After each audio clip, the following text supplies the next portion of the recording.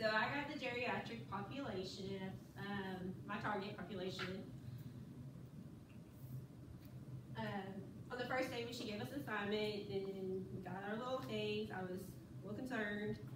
There was interprofessional and geriatrics I really didn't want. And then I made my little comment about how my parents are geriatrics. Could I just do my presentation to them in their living room? Just joking before we ever got our assigned population. And then I got geriatrics. I felt like that was God's little funny trick to me. Like, Han, you're gonna do it now. You made that comment about your parents being old. so, um, I was a little concerned because I couldn't really think of any geriatric divisions besides nursing home and assisted living. We are all supposed to have something different, so I was a little concerned about that. So I got home and I was like, okay, mom, do you know of anything? Like, is there any other groups besides these two divisions? She's like, well, let me contact somebody at the church and see if there's like a older women's group or something that you could go talk to. And so um, we contacted our friend Chrissy who does Sunday school with us, and she's like, I'm the manager at uh, an elderly housing division. So she's like, do it here. That'd be great. She's like, they have to have meetings every month so you could be the meeting of that month. I was like, okay, sounds good. So kind of relieved the stress just a little bit until we started getting all the flow, all the work in. I was like, uh, I don't know what to do. I was a little concerned. Um, so when I started planning for my program, I didn't want to like do what was considered probably like the basic things for older people, which would be denture care and stuff, because not all elderly wear dentures. My parents don't, I know a few people that are 65 or don't. And I knew these were tenants out of place. So there's a possibility that they wouldn't have dentures. So I kind of started going, well, they're probably, they're low income, so they probably don't eat that well food. They probably don't do much exercise. So I started looking up kind of how physical ex, uh, activity could help improve their health. So that's how I went about it, and I did find some studies that say how it can reduce uh, periodontal disease. So it worked out good. I really enjoyed it because um, my mom actually started physical exercise and eating healthier, and she had breast cancer, and it's actually her blood pressure's come down since she's lost the weight, and she's kept a well diet, and it's really helped maintain her recovery. So I thought that'd be good thing to help. Just showing these people you don't have to go to a gym, you could just walk 30 minutes a day, down the road, up and down, eat, eat good food. And then I was just gonna put in the correct ways to brush because when I started this program, I didn't know I wasn't brushing the right way. So I know there's a lot of people out there that do not know how to brush properly. Um, so I contacted my person, we set up a date. I did it over spring break, so it would be less stressful on me instead of trying to fix it into the school schedule. Um, Shelby helped me make my, my little poster boards. Um, Sierra and Destiny came and helped me present. It was fun. We uh, made note cards for them. We got everything set up. Um, but my presentation didn't go off quite how I wanted.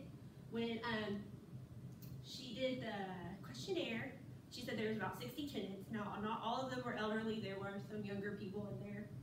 So I was at least thinking about 40 people, somewhere around that, because it was a meeting. Well, it started getting closer closer to time, and nobody was there yet. So I was like, oh gosh, what are we gonna do? This is my main presentation. I started having a little freak out for a second because nobody was there.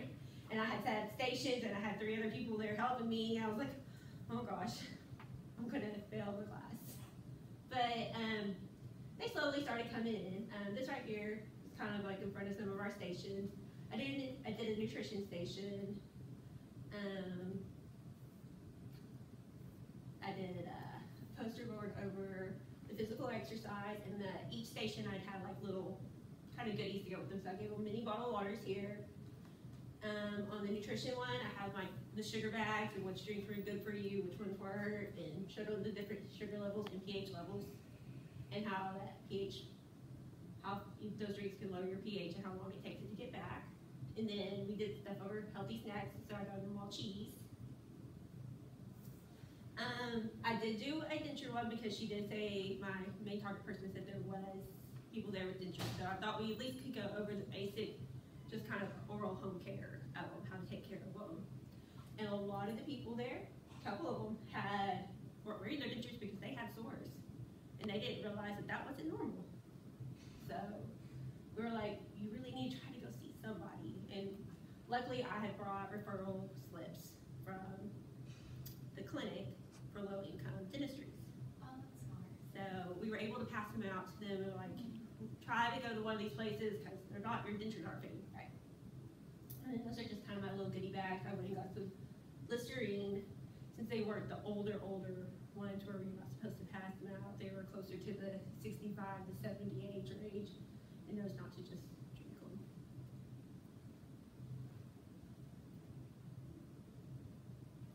So, um, as I told you, all of my people didn't, up. We ended up having nine people. Um, my contact person was gonna help us out if they didn't show up, if we didn't have at least eight, we could just go around and go and talk to each tenant, door to door. But, um, we were able to talk to them and we actually got more one-on-one time with those individuals that came, and so it worked out pretty well. And that way they got, got to ask a lot of questions they wanted, Did they ask a lot of questions? a few of them did, like the, the stuff they didn't understand, like the whole sores in their mouth, and So they were didn't know about- yeah, and they didn't know about our clinic and how they could come here and get cleaned, and they didn't know about our outreach as we have. A lot of them were really interested in that. So I felt like we helped them, we left all that information for them. Um, so here's a, some little pictures of them. Not all the tenants wanted their pictures taken, so I just put some of them in there to show them. And so, not all of them, I mean, I didn't, that's like about four of them, but the other ones didn't really want their pictures taken, so I didn't add them in because I'm respecting their privacy. So you brought sixty stuff, sixty? I brought, Nine. I brought at least fifty, like, I, Ooh. so that cap, so I used the rest of it on my other community, so I just didn't sign up for other stuff, so I, I did get used to it. And then we also did leave some for the front desk at her so she could pass it out to the tenants when they came up to the room. But like I said, my presentation didn't go as I planned, but it didn't go bad either. It could have been a lot worse if nobody showed up, and then really would have been in trouble. Yeah. But so it was pretty good.